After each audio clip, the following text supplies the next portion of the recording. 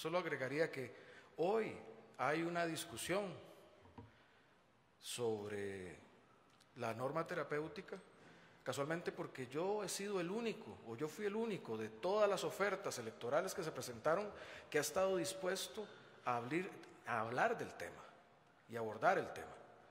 Si no fuese yo el que está aquí como presidente de la República, esa ni siquiera sería una discusión.